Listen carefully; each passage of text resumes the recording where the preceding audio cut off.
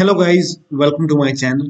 Today in this video I'm going to show you how to install or reinstall Xbox Console Companion app on your Windows computer.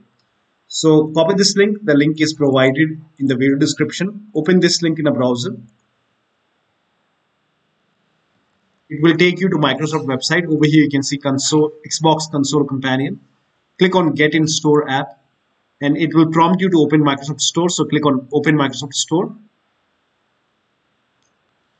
now, if Xbox Console Companion is not installed on your computer, you will see install button over here. So just wait for a couple of seconds. So over here you can see install button. So click on install. And let the download complete.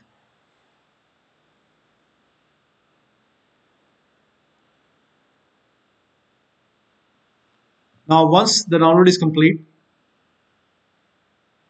you can open Xbox Console Companion. So you can type in Xbox Console Companion over here. And it should open. So this is how you can download and install Xbox Console Companion app on your Windows computer. So that'll be all. Thank you so much for your time and please like this video and subscribe to my channel.